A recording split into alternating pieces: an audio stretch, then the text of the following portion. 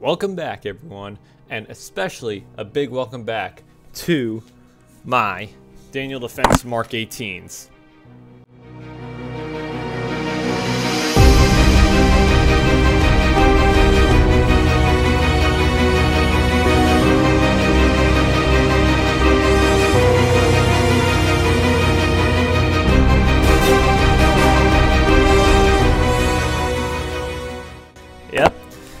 We're back with this incredible piece of machinery.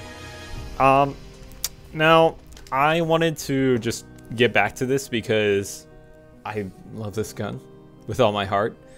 Uh, because it is a masterpiece and I it is a also a pillar of the special operations community.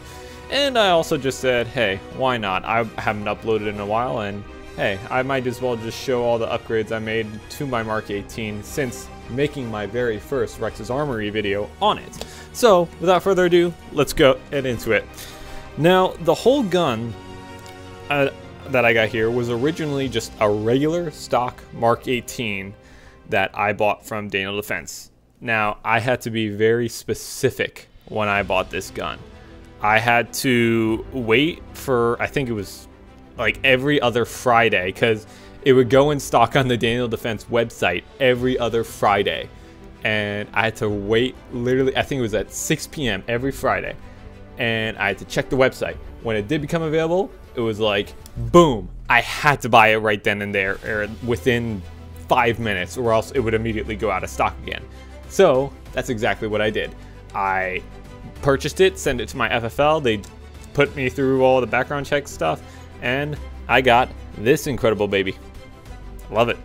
Now, upgrades that I made to it since having it. Uh, I tried to make a an upgrade to this pistol grip because if I'm being honest, I was I was a little underwhelmed by the Daniel Defense pistol grip, uh, and I wanted to put something like a Magpul K2 or a BCM uh, pistol grip on there. But however, I did not realize that I needed a certain tool to get the pin out um, from the trigger guard because with this gun, it's not like you can just uh, take out the pistol grip willy-nilly. The pistol grip is attached to the trigger guard. So I needed a certain pin to get the trigger guard out as well. But unfortunately, I messed up the pin when I was trying to remove it, and now it kind of can't be removed. So more on that later. If I do decide to get a new one, I'll probably send it to a gunsmith to get it to get that pin extracted or something like that. But anyways, I digress. Um, let's go back to the pistol brace. I upgraded the pistol brace to from an SBA 3 to an SBA 4. Um, now you're thinking, why don't you just throw a stock on there? Be a man. I know. I want to. I want to so badly. However, I am crossing into different states uh, very soon. And because of how much I'm going to be traveling, I, for my job, I'm not going to be replacing this anytime soon. I'm going to. I, I really want to, but I, I just, I can't yet. Uh, just due to laws and due to how much I'm going to be traveling. Um, I have kept the charging handle the same, Daniel Defense charging handle. Um, they got a good buffer in there, good buffer spring. I'm loving it. I do need to lube up this bolt carrier group, this from Daniel Defense, uh, quite a bit next time.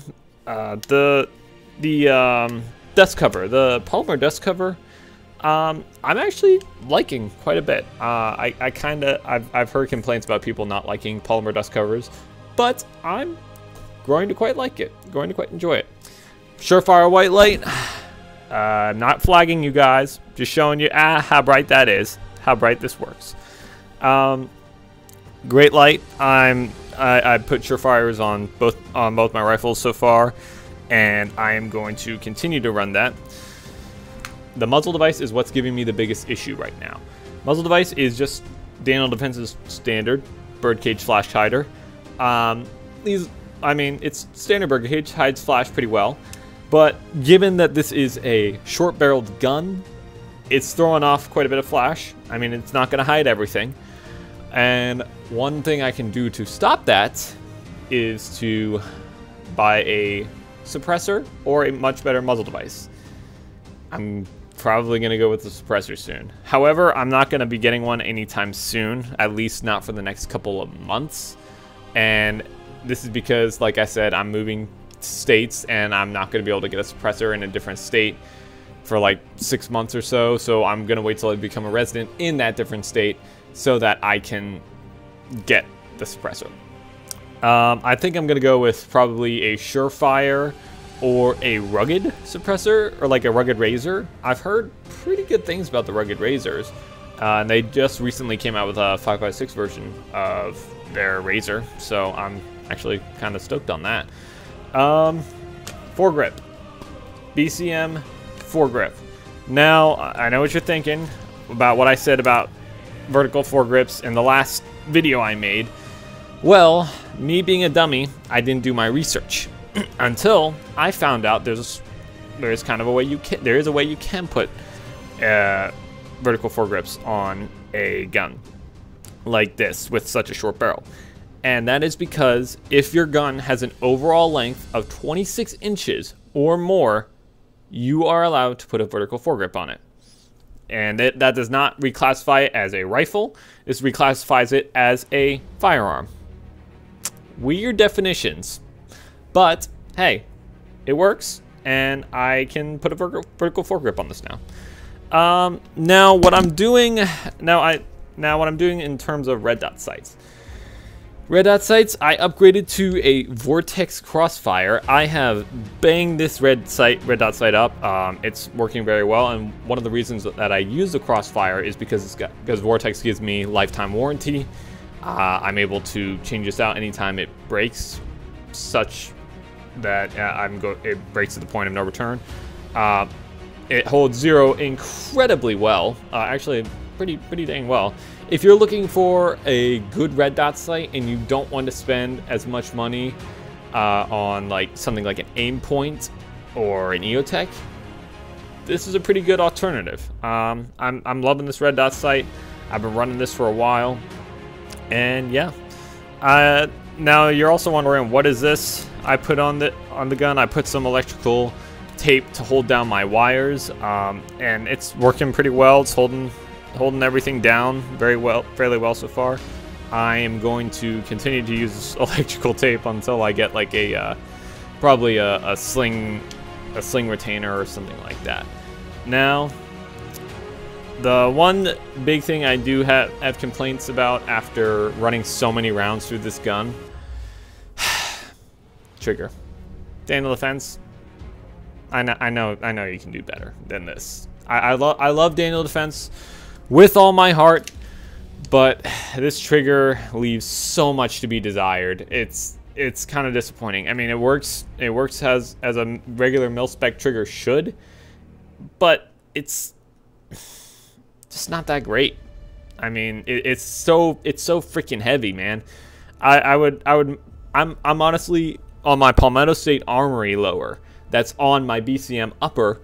I have a better time using that trigger than I than I do using this one. So, Daniel Defense, that's my only complaint. That's really my only big complaint about this gun. So, DD, I think y'all got to up your game with your triggers.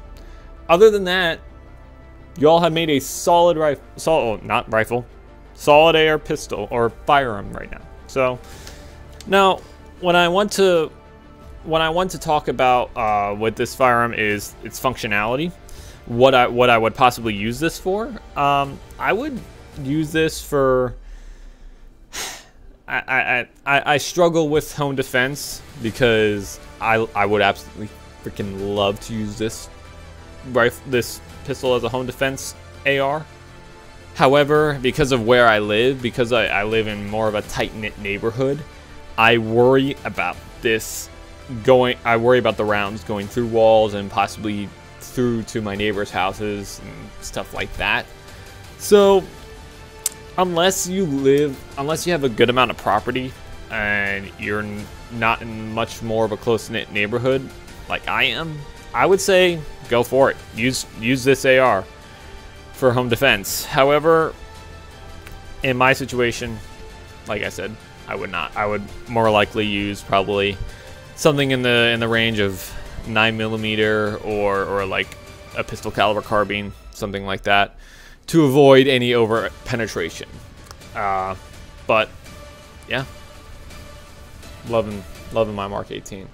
And for what I want in life, um, for the house I do want to end up getting in the future, this will this will work perfect for that kind of defense scenario. But anyways, Daniel Defense Mark 18.